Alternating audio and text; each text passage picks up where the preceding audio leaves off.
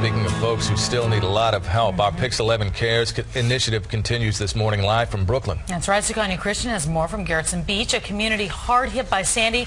Sukanya, I know you're getting a lot of stories out there this morning. Yeah, we're doing our part. We're talking about basic necessities, heat, hot water, uh, just getting your house up and running. A lot of people still, month later, dealing with trying to get that going. Can you imagine that as you're watching in your home, warm and comfortable with your family around you? There's still so many people like where I am live in Gerritsen Gerritsen Beach that are dealing with not having the basics. We've got Nautica that came out. They've got some uh, sweaters and pajamas. They're doing, are doing our part to try and help people. So we thank Nautica for giving us these boxes. And of course, people have been coming out getting them.